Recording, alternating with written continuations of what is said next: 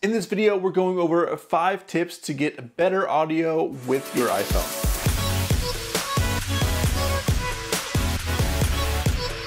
Hey, I'm Nick with Table 19 Media, where we show you how to take better photos and video so you can grow your brand. While you're here, make sure that you like this video and also why don't you subscribe?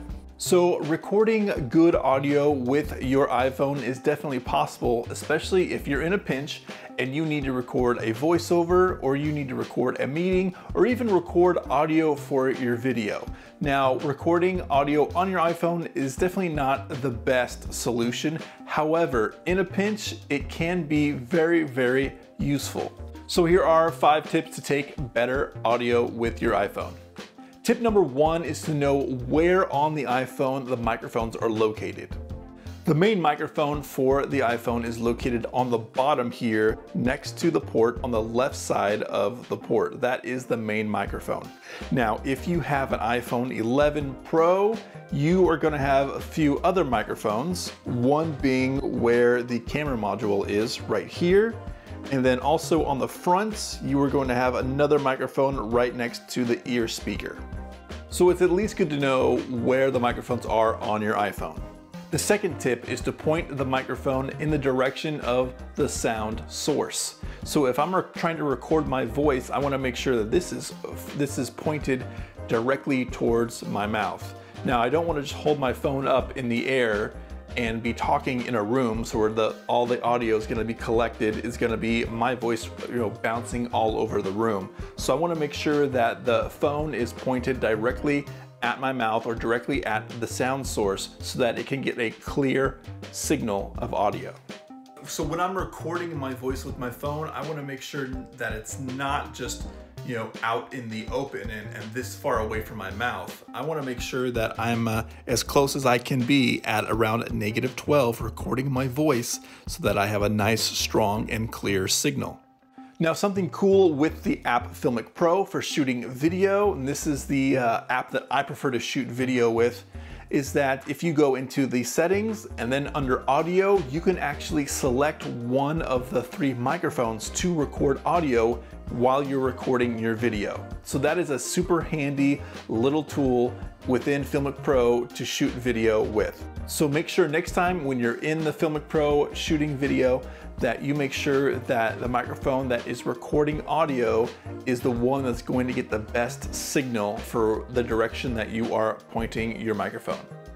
Tip number three is that if you're going to get a good clear sound from your audio is to avoid spaces with lots or even any ambient sounds. So obviously you don't want to be in a hallway trying to record a voiceover when there are people around in offices and telephones are going off or even outside where possibly you know wind can sweep by and uh, you know get that get that uh, wind sound in the microphone or just traffic going by. You wanna try and isolate yourself as best as possible so that the ambient noise is at a very minimum. The main microphone on the iPhone is an omnidirectional microphone, which means that it is picking up sound from all over, not just in one specific location or one specific direction. Therefore, it is an omnidirectional microphone. Tip number four is to use a third-party app to record your audio. Now I know that the iPhone comes with the Voice Memos app and that has been a very popular app just to record you know no, voice notes here and there. But if you were going to be recording audio for a very important purpose like you know for your video or a voiceover, then I suggest using the app Sure Plus Motive. Now this app is made by the microphone company Shure which has a good track record of making quality products.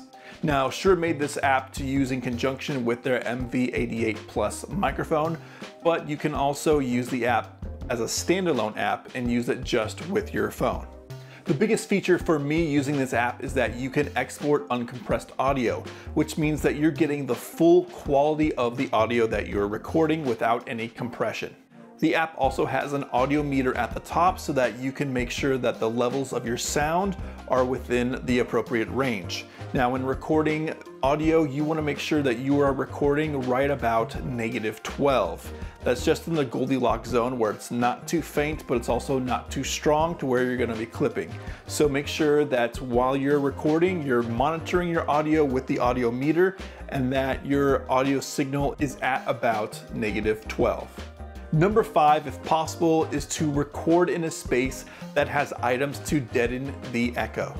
Because walls cause sound waves to bounce all throughout and create that echo, you wanna make sure that you record in a room that has items that can disrupt the sound waves from bouncing all over the place, creating that echo.